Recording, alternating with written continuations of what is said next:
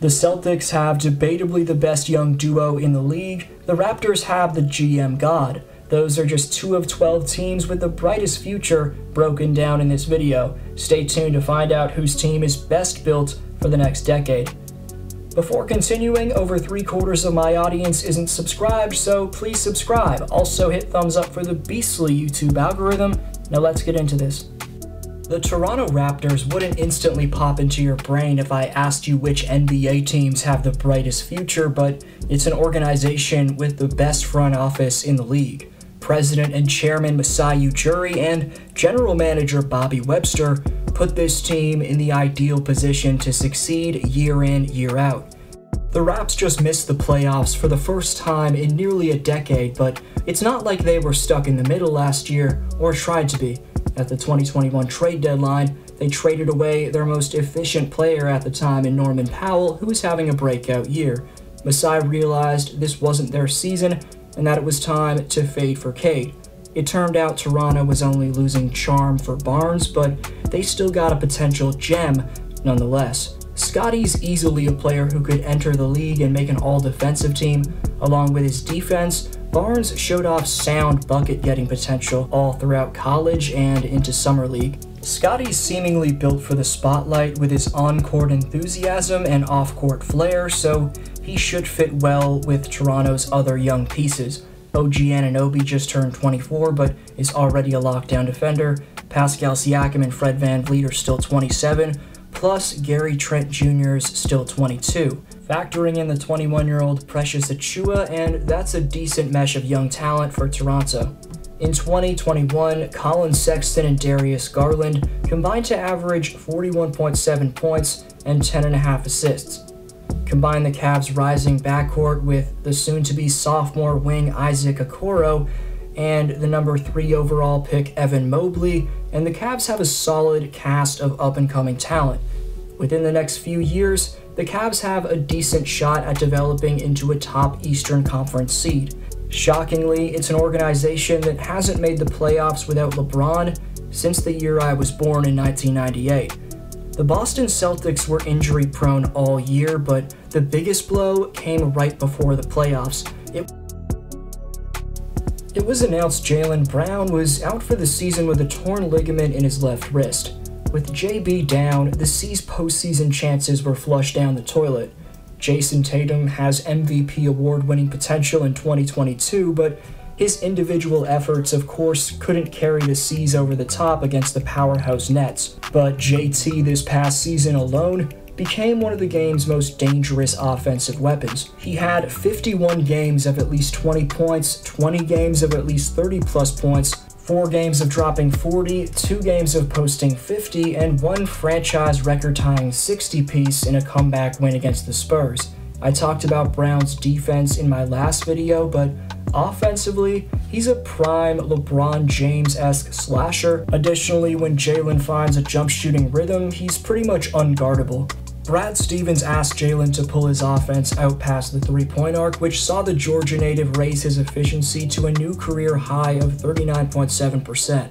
Brown also shot career highs from two point range, 48.4%, and from the free throw line, 76.4%, while turning in personal bests in scoring and dimes. From an opponent's perspective, you have to pick your poison with Boston's two beastly wings.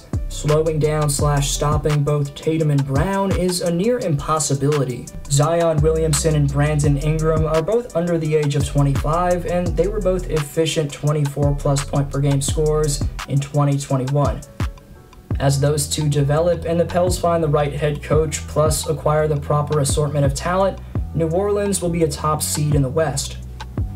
The Slovenian sensation Luka Doncic and the unicorn Kristaps Porzingis have been known as one of the better up-and-coming duos for a few years now. While Luka's averaged 30 in the last two playoffs, Porzingis has struggled to stay healthy and recently complained that Doncic doesn't pass to him enough. Of course, the talent of the 4 and 1 2 punch is good enough to lead Dallas back to the winning they experienced in the early 2010s. However, it's an era that could go to waste if Luka and Kristaps can't get along.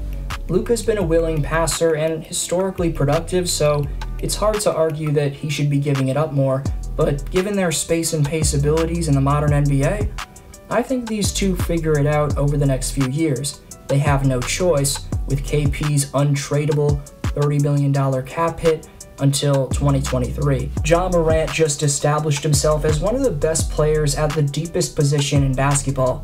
He had the help of the 25 year old from Toronto in Dillon Brooks. Brooks quietly dropped 17 per night last year.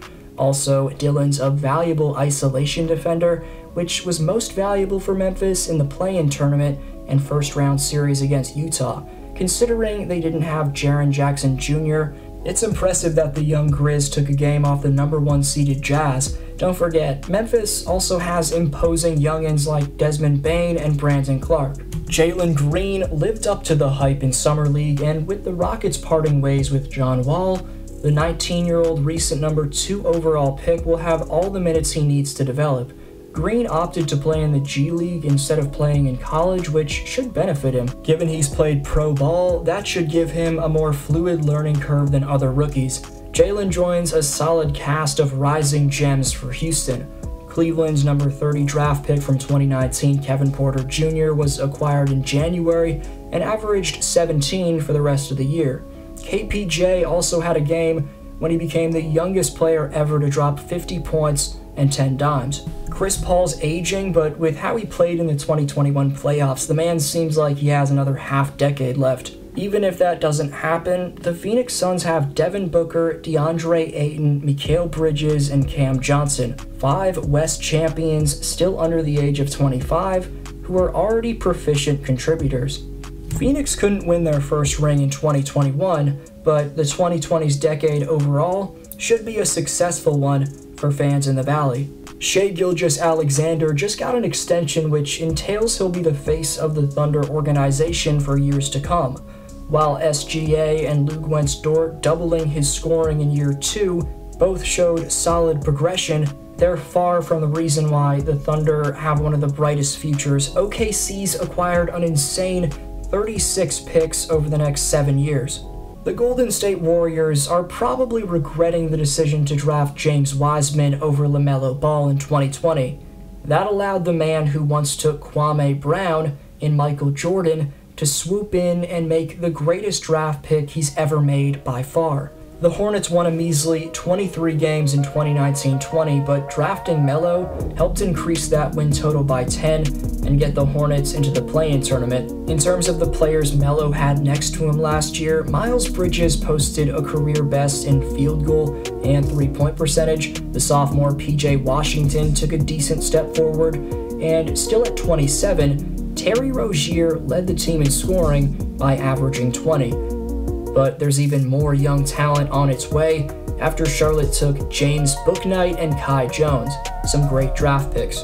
Keldon Johnson, Dejounte Murray, Jakob Poeltl, Derrick White, and Lonnie Walker. If those five can progress over the next few years, the Spurs could be back in the postseason sooner than you think. GM RC Buford has built championship contenders in the past, and he's got an impressive assortment of building blocks to do it again. RJ Barrett can be really damn good, and that's the primary reason I had to fit the Knicks into this video. Julius Randle hasn't turned 27 yet, Mitchell Robinson's only going into his fourth year, and I'm also high on Immanuel Quickley. I think he can develop into something. As a sophomore, Barrett just became the eighth player in NBA history to reach 2,000 points, 500 rebounds, and 300 assists before turning 21, the other seven are Kobe Bryant, Kevin Garnett, Tracy McGrady, Carmelo Anthony, LeBron James, Luka Doncic, and Kevin Durant. RJ improved across the board in year two, so his progression could keep the Knicks towards the top of the standings over the next decade. Out of all these 12 teams I've broken down, I'll choose two, both in the short and long term. Considering they all have a ton of talent, it's extremely tough to decide. In terms of the next 10 years, I'm going with OKC and Toronto. It's inevitable a few of those first rounders will become franchise players for OKC. Toronto just signed Masai for the long term, which could lead to success in both the short and long term. But in terms of the next five years, I'm going to go with the Boston Celtics and Phoenix Suns. Those are just my picks though. Let me know yours in the comments section. Hope you have a great one. D-Flow signing off.